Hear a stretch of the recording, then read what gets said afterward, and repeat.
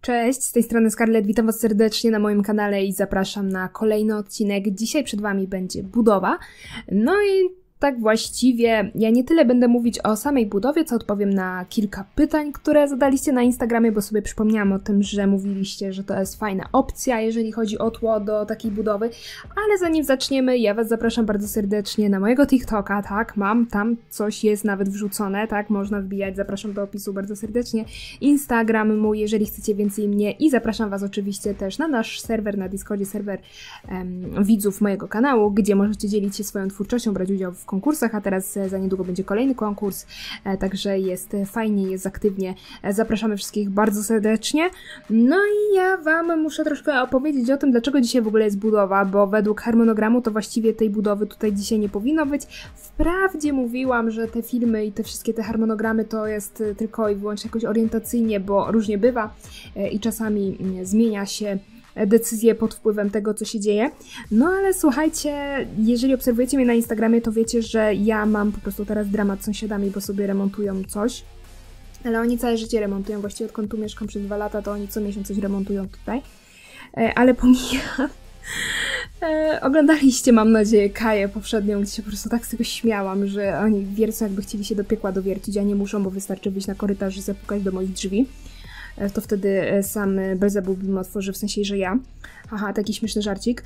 Mm, natomiast e, no, jest bardzo ciężko nagrywać przez to, że ta wiertarka idzie, a dzisiaj szła od godziny 7.30, więc nie obudził mnie budzik, obudziła mnie wiertarka udarowa sąsiadów o 7.30 i wiem, nie jest super późna pora, ale jednak wczesna, jeżeli chodzi o wiercenie.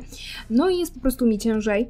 I postanowiłam, że mogę sobie coś zbudować, bo potem mogę nagrać do tego głos, a właściwie jak już się zbliżają do takiej godziny popołudniowe, kiedy e, ludzie pracujący na normalną zmianę wracają, to wtedy jest już e, ciszej.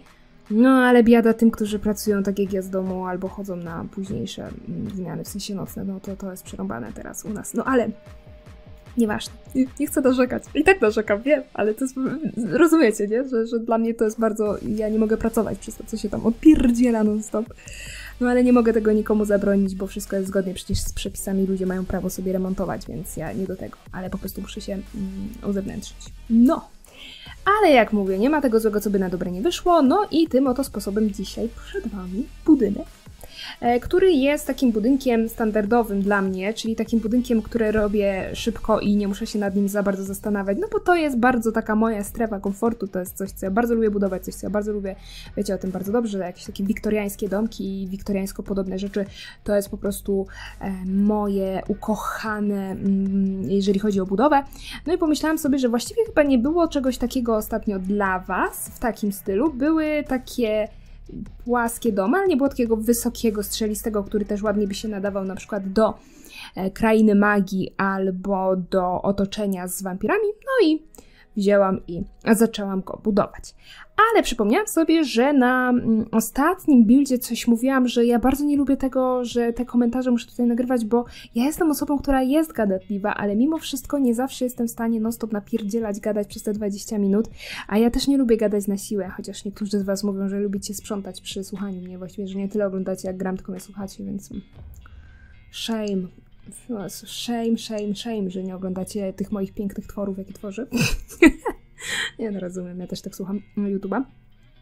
E, no ale e, powiedzieliście mi, że zawsze mogę na Instagramie zapytać, no i dobra, no mieliście chyba, nie wiem, z godzinę na zadawanie pytań, ale już się jakieś pojawiły, więc e, na nie sobie poodpowiadam. Jeżeli mój telefon będzie reagował z mikrofonem, to Was przepraszam, ale niestety nic na to nie poradzę, bo muszę sobie to na telefonie zobaczyć, bo nie przygotowałam tego, na co będę odpowiadać. Aha, będzie, cię, będzie cięcie dosyć mocne.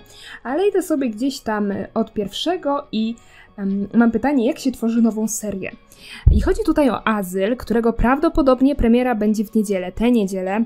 Mówię prawdopodobnie, bo to zależy, czy dzisiaj już tak finalnie domknę odcinek. Nie wiem, czy go domknę, czy nie. To jest ciężkie, bo nie umiem wam dokładnej daty powiedzieć. Ja bym bardzo chciała, żeby w tę niedzielę się pojawiło, bo um, no byłoby to fajne, ale prawdopodobnie z Azylem będzie tak, że on nie będzie co tydzień, tylko co dwa tygodnie. Tylko tu też się obawiam, że będziecie wątki gubić.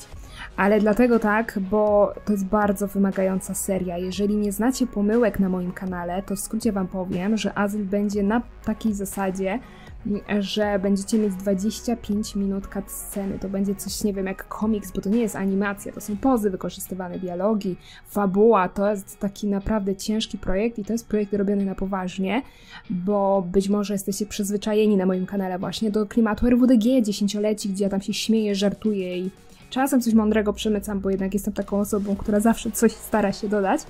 E, natomiast pomyłki były bardzo taką poważną serią, do której bardzo mocno podeszłam do azylu podeszłam 10 razy mocniej e, niż do pomyłek, więc e, tam jest, no i bardzo się starałam to ładnie zmontować. No bardzo się starałam e, przyłożyć do tego, nawet tam wspierający mi pomagali, jeśli chodzi o takie kwestie językowe, bo ja no, nie przeskoczę wszystkiego, nigdy nie ukrywam, że jakimś mistrzem języka polskiego nie jestem. Wystarczy mnie posłuchać, ile ja czasami tutaj błędów językowych nawet mówię, kiedy do Was opowiadam. Staram się jak najmniej, no ale nie jest to mo, moja strefa mojego zainteresowania, nigdy humanistą nie byłam. No i to jest seria, do której naprawdę bardzo się przykładam, więc zapraszam Was bardzo serdecznie, jeżeli będzie premiera, to premiera będzie na żywo, potem odcinek będzie też normalnie do oglądania, ale podczas premiery na żywo będzie fajnie, dlatego że będę ja na czacie, będą inni na czacie, będziemy sobie na żywo gadać i reagować na to, co się będzie działo, więc no to jest zupełnie coś innego i od razu Was uprzedzam, to nie jest tak, jak Wy myślicie o cutscenach na SimStubie, bo cutsceny na polskim SimStubie są po prostu przygłupie. I nie obrażam tutaj nikogo z twórców, e, ale dobra, no są wyjątki, ale w większości tak jest, bo sama robiłam takie sceny i one to, to są takie pierdu-pierdu w trakcie, nie? Nic jakiegoś super poważnego, jakieś głupoty, żarciki i w ogóle, no to mm, sama takie rzeczy robiłam, wiem jak to mniej więcej wygląda. Więc tak, e, a tutaj jest no to inny klimat, to bardziej leci pod serial, dlatego ja takie rzeczy nazywam ten serial, a potem jak łączyłam z tego film, no to wychodziło, że film. Także tak. A jak mi się pracuje, boże jak ja się rozgadam, jak mi się pracuje, bardzo dobrze mi się pracuje i jestem bardzo podekscytowana i właściwie 100% mojej energii poświęcam właśnie na ten azyl i nie starczy mi już tej energii na przykład na mój drugi kanał, ale staram się tam też coś wrzucać i tworzyć, tylko siłą rzeczy teraz e, będzie tego mniej, bo no jednak główny kanał jest zawsze priorytetem, a dopiero potem leci drugi. Ok, lecimy dalej. Muzykę do odcinków e, dobierasz pod swój gust, czy żeby po prostu dobrze się komponowała? Szczerze? Mm, patrzę sobie na bibliotekę YouTube'a i popieram, e, pobieram pierwsze lepsze, które nie mają e, żadnych obowiązków dotyczących praw autorskich, czyli na przykład nie muszę ich w opisie podawać itd. itp. Właśnie nie lubię pierdzieli z takimi rzeczami. Ja też strasznie mm, patrzę na takie rzeczy jak prawa autorskie i w ogóle jest dla mnie bardzo ważne przy wyborze muzyki. E, więc y, nie chcę pobierać z YouTube'a piosenek, takich, które niby mają te licencje, ok, bo nie ja temu nie ufam. Wolę sobie pobierać z biblioteki właśnie YouTube'a i pierwsze lepsze tak naprawdę, albo to, co miałam ostatnio pobrane, to to wrzucam. Lecimy dalej. E, czego najbardziej brakuje Ci w Simsach? Czy kochasz to, co robisz? E, w Simsach najbardziej mi brakuje budowania, jakie mamy w Planet Zoo i Planet Coasterze. W sensie nie tyle samej budowy, co możliwości obracania obiektów pod dowolnym kątem i wszystkim dowolnym. I zanim na, powiecie mi, że jest na to mod, bo wiem, że jest, tak, wiem, ten tool, czy jakoś tak on się nazywa, e, to mi chodzi o to, żeby to było w grze, stworzone przez twórców, a nie stworzone przez moderów, bo... Yy, ja nie lubię modów skryptowych i no nie lubię. Wol, wolałabym, żeby twórcy o czymś takim pomyśleli, bo ja się dziwię, że tego nie zrobili. Zapierdzielili mm, pagórki, robienie jezior z Planet Coastera i Planet Zoo, to mogliby zapierdzielić też to, że mm, tam się obiekty naprawdę da, dodacie je wszędzie i nie kolidują z niczym, bo można wyłączyć opcję, że mm, te obiekty kolidują. Także tego mi najbardziej brakuje. A czy kocham to, co robisz? W sensie kontekście takim, że nagrywa? Myślę, że tak, bo gdybym tego nie kochała, to, to bym tego nie robiła. Nie jestem osobą, która robi coś na siłę. Zdecydowanie nie. Mi się musi chcieć i muszę czuć z tego frajdę. Jak nie czuję frajdy i mi się nie chce, to nie robię. Także taka moja zasada życiowa. Może jakiś challenge z kosmo. Często takie rzeczy pytacie, ale ja niestety jestem bardzo mocnym introwertykiem i em, ciężko mi jest się mm, zmotywować do tego, żeby z kimś nad czymś pracować i w ogóle i do tego ja jestem bardzo taką osobą, która jest mm, samodzielna. Ja wszystko na kanale robię sama, sama sobie grafiki robię, sama sobie montuję, sama sobie ogarniam wszystko, po prostu wszystko robię sama, więc um, tu nie chodzi o jakieś sympatie czy antypatie do kogoś, bo to niezależnie kto by był, czy nawet moja super najbliższa przyjaciółka, ja bym chyba nie umiała tworzyć czegoś takiego, dlatego ostatnio postanowiłam, że żeby wilk był syty i owca cała, e, to zrobiłam ten Shell Challenge Kosma właśnie i to na zasadzie wyszło takie troszeczkę współpracy, no bo jednak Shell był Kosma, moje wykonanie, ale właśnie w tym stylu i bardziej coś takiego, bardziej w czymś takim bym się odnajdywała, jeśli już, ale tworzenie takiej odcinkowej na przykład serii z kimś, no to byłoby po prostu dla mnie z racji tego, jaką ja jestem osobą, ciężkie do zrobienia. Tak jak mówię, abstrahując już tutaj od sympatii i antypatii, e, może jakieś schronisko, klatki, zwierzęta, karmy. Mi jest bardzo przykro, jeżeli myślę o takich miejscach jak schronisko, więc ja nie wiem, czy bym dała radę po prostu psychicznie to zbudować, tak szczerze. E, gdybyś miał opisać Fenrisa w trzech słowach, to byłoby to... Ojej, Fenris to jest ten, ten nowy bohater, e, bohater azylu. Ja umieszczałam go wielokrotnie na Instagramie, więc jeżeli was nie ma na Instagramie, to wbijajcie. E, na Discordzie, na serwerze też się dzieliłam tym, jak Fenris wygląda. To nie jest jedyna postać w azylu, od razu uprzedzam. Jak ja miałabym go opisać w trzech słowach? Nie wiem, czy to nie wyjdzie za duży spoiler, mm, ale na pewno jest to ktoś, Ojej, brakuje mi słowa. Przeciwieństwo gorącej głowy. W sensie, że on jest bardzo racjonalny. O, na pewno jest bardzo racjonalną postacią. E, jest postacią twardo stąpającą e, po ziemi i jest bardzo tajemniczy i na pewno na swój sposób hipnotyzujący. Ale e, ach, i jeszcze na pewno arogancki ale to wszystko zobaczycie w Azylu. Czy, no i to nie było w trzech słowach, ale zobaczycie w Azylu. Twoje odczucia co do postaci Reta Butlera. Y, jakby ktoś nie wiedział, Red Butler przeminął z wiatrem. Nazwa mojego kanału, czyli Miss Scarlet, pochodzi od tej książki, ponieważ w tej książce główną bohaterką była Scarlet. No i właśnie ona miała tam czterech, nie wiem ilu już miała mężów, musiałabym policzyć. Ale nie chcę wam spoilerować, więc obejrzyjcie sobie.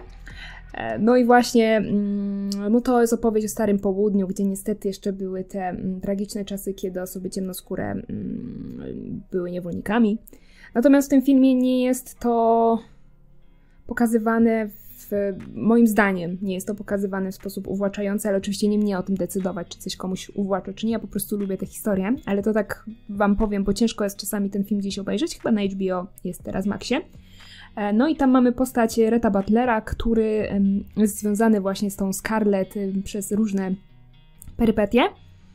I jak ja go oceniam, wydaje mi się, że on jest naprawdę głupi. Bo wydaje się, że powinien być inteligentną osobą, ale niestety nie jest, bo daje się omotać tej Scarlett i wykorzystywać i, i szkoda mi go, także no na pewno. I w życiu bym nie powiedziała, że to jest negatywna postać, zła postać, że to jest manipulant. Y, kiedyś gdzieś przeczytałam, że ktoś stwierdził, że to jest manipulant. Ja uważam wręcz przeciwnie, że to Scarlett była olbrzymim toksykiem.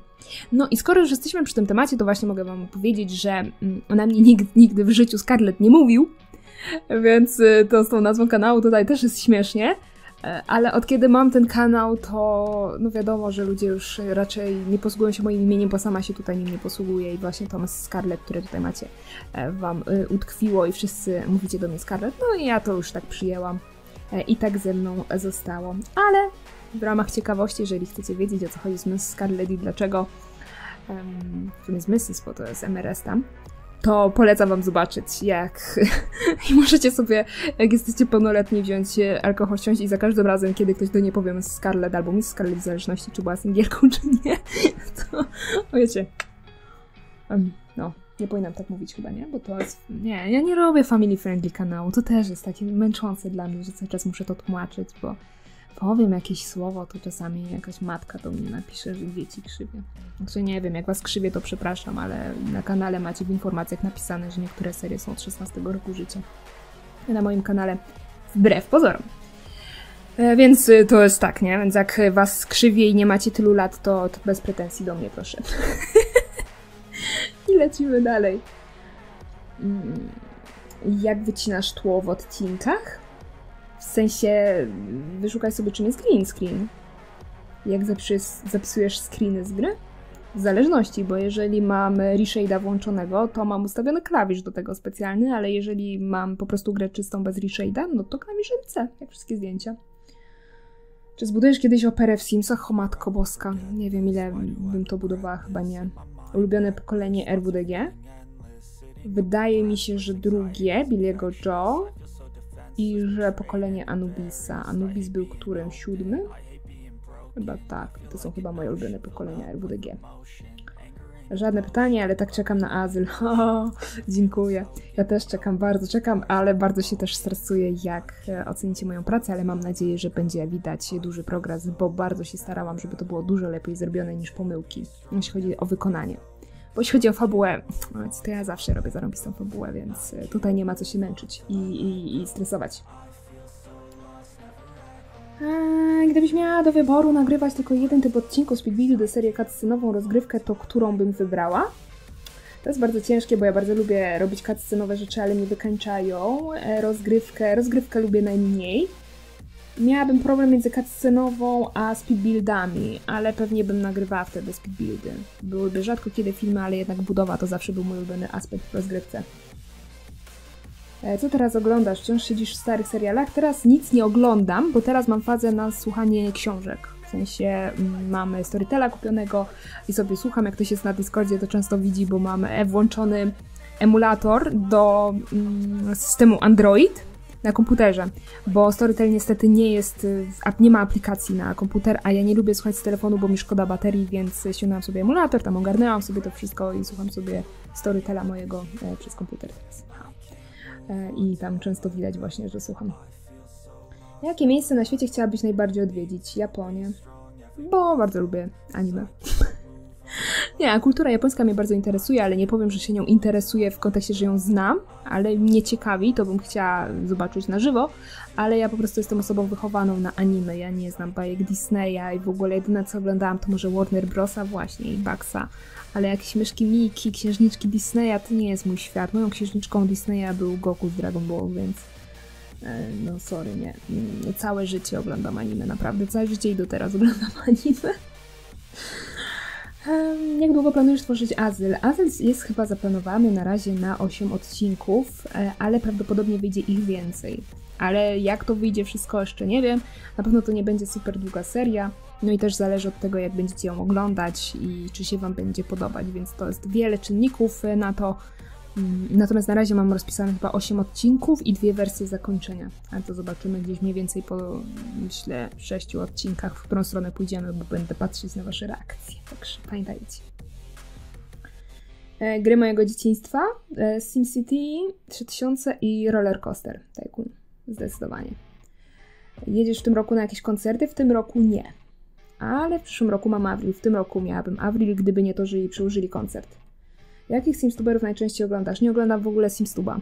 E, czasem coś mi się rzuca siłą rzeczy, bo nie wiem, obserwuję kogoś i jakiś jego odcinek mi się gdzieś rzuci w oczy, ale mm, nie oglądam, bo dla mnie to jest bez sensu, bo jak oglądacie kogoś, to może wam coś utkwić z tego, co było u kogoś w serii, możecie, nie wiem, to powielić nieświadomie też, to tak czasami działa po prostu ludzki umysł.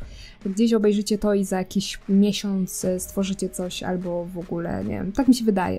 I ja nie lubię, bo ja nie chcę sobie, nie wiem, psuć swojego stylu nagrywania, bo mój styl nagrywania polega na tym, że nagrywam tylko to, co mi wpadnie do głowy. Już tak i nie lubię, bo jeszcze ja siedzę w tym naprawdę po kilka godzin nad tymi Simsami, jeszcze miałabym to oglądać w wolnym czasie, no to ja nie wiem, już przestałabym mówić po polsku, tylko zaczęłabym w Simlish, więc no, nie oglądam. Czekam na dom w takim starym polskim stylu z drewna i ze strzechą na dachu. Taki do średniowieczny w sensie ogólnie, czy taki po prostu coś jak było w dziesięcioleciach na początku? Nie wiem, muszę pomyśleć, ciekawy pomysł. Przechodzenie słodkiego flirtu jeszcze raz z kasztanem Cię nie znudzi? Nie, ponieważ mam bardzo fajny umysł, który działa tak, że jak coś nie jest dla mnie istotnego, to to zapominam. Czyli ja mogę obejrzeć film, a za pół roku mogę go obejrzeć jeszcze raz, bo już go nie pamiętam. Chyba, że to jest coś, co jest dla mnie tak istotne od strony mm, emocjonalnej, jak właśnie przeminął z wiatrem. Które kocham, znam na pamięć, ale i tak mogę to oglądać, czy wszystkie filmy z Audrey Hepburn, bo ja ogólnie lubię stare filmy. Ja jestem osobą, która kocha stare filmy, więc yy, kocham wszystkie. Zresztą ja ani w muzyce, ani w filmie nie mam czegoś takiego, że jakieś mam ograniczenie.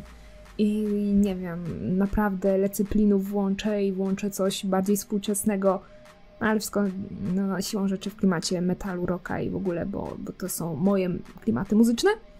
E, ale tak samo mam z filmem. Film Przyjemno z wiatrem jest 39, nie? Ale też film z lat 80., 90. oglądam, bardzo lubię. E, jak wpadłaś na założenie kanału? Oj, ja się chyba kiedyś na ten temat wypowiadałam, tak mi się coś wydaje. Ale nie wiem, czy na live. Zresztą ja nie mam takich filmów chyba już, w których bym coś o sobie opowiadała, tak mi się wydaje. Kiedyś miałam, potem nie mam, e, potem nie miałam, ponieważ stwierdziłam, że ja nie chcę sprzedawać za bardzo swojej osoby, bo mm, bardzo oddzielam życie prywatne od tego, co tworzę na YouTubie. E, ale jak wpadłam na założenie kanału, miałam taki okres w życiu, gdzie potrzebowałam czegoś, co dawałoby mi poczucie, że jest po co rano się budzić, jakkolwiek to brzmi, ale jakoś tak bardziej mocniej rozwodzić się na ten temat nie chcę, bo no to są ciężkie tematy, które raczej na ten moment nie chciałabym poruszać. E, ale potrzebowałam czegoś właśnie, co by mnie w ten sposób motywowało, że czułabym, że muszę, że coś zrobić, że w ogóle. I jakoś tak się złożyło, że gdzieś widziałam zagranicznego Simstuba, w sensie jednego gościa, który nagrywał, a potem algorytm wyrzucił mi Oskę, a potem stwierdziłam, że to jest dobry pomysł i że coś takiego mogę zrobić, a ja całe swoje życie siedzę w takich miejscach, ponieważ ja od 2004 roku prowadziłam blogi, różne blogi o różnych tematykach, więc cały czas z internetem, z tworzeniem jakiejś społeczności i w ogóle miałam styczność, więc YouTube wydawał mi się bardzo taki naturalny dla mnie i czymś, co wiedziałam, że ogarnę i wiedziałam, że wyjdzie mi to ok. No i bardzo dużo mi dało to. Bardzo dużo mi dało, ponieważ prowadziłam regularnie serię, ponieważ zaczęłam zdobywać widzów. Ci widzowie pisali, czekali na jakieś odcinki. Ja wiedziałam, że ktoś czeka na to, żebym ja mm, wstała, ogarnęła się, nagrała coś, rzuciła coś. Bardzo dużo mi dał YouTube i e, myślę, że w pewnym momencie mojego życia to, że tutaj tworzyłam, no, no po prostu dużo mi dało, no. ciężki temat, żeby tak wam powiedzieć. Chyba nie lubię po prostu o tym mówić, ale jak chcecie więcej, to sobie włączcie pomyłki. No, tam dużo takich różnych emocji, które przeżywałam, były pokazane. Bo to się nie wzięło z niczego. I lecimy dalej. Hmm. Czy ja coś tutaj mam jeszcze ciekawego? Mm, dobra, jest pytanie o Damiana. Tak, mam Damiana. Damian jest moim chłopakiem, a jesteśmy razem już 6 lat. Jest to już stare, dobre małżeństwo.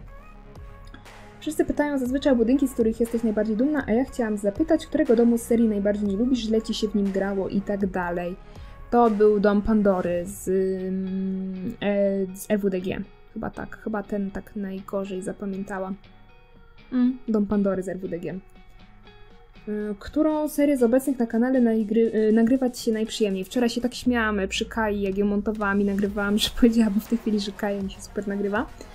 Ale ogólnie najprzyjemniej teraz mi się siedzi nad azylem, bo ja lubię takie wyzwania. Więc no, to, to tak. Czy chciałabyś kiedyś odnowić sklep? Bo ja miałam przez chwilę sklep, ale stwierdziłam, że to jest na dłuższą metę takie nieopłacalne i nie jest nieopłacalne, bo w aktualnym um, miejscu, w którym jestem, Tworzenie takiego sklepu wiązałoby się z tym, że te e, ceny byłyby tak zarąbiste, że nie chciałabym czegoś takiego wrzucać, bo nie chciałabym e, was, e, nie wiem, kusić na wydawanie takich pieniędzy, bo o ile dla mnie by z tego na przykład szło, nie wiem, z 5 zł, o tyle sama cena produkcji w ogóle materiałów tragiczna, więc nie, nie, nie, nie. ale może kiedyś coś w przyszłości by poszło. Jakieś koszulki z moimi grafikami. Dobra. Kiedy pojawiają się głosowania do KAI? Ktoś jeszcze pyta. Głosowania do KAI powinny pojawiać się w środę, ale najczęściej pojawiają się w czwartki, bo zapominam, więc środa, czwartek. w te dni. Czy coś tutaj jeszcze jest? Yy, czy legendarne wiercenie nadal robi za podkład muzyczny? Pozdrawiam moich obserwatorów z Instagrama. Jak słyszycie, na razie jest spokój, ale po prostu już jest popołudnie, więc y, już nie wiercą. Ale w momencie, kiedy ja nagrywam, czyli do południa, to po prostu jest teksańska masakra. Dziękuję Wam bardzo serdecznie za te wszystkie pytania. Dziękuję Wam za oglądanie tego odcinka. Jeżeli chcecie więcej speedbuildów, to proszę zostawiajcie łapki, żebym ja wiedziała, że Was to interesuje. Zapraszam Was oczywiście na mój drugi kanał Game Scarlet, na którym m.in. znajdziecie słodki cringe. Zapraszam na Discord, zapraszam na TikToka, zapraszam na Instagram i trzymajcie się wszyscy cieplutko. Cześć!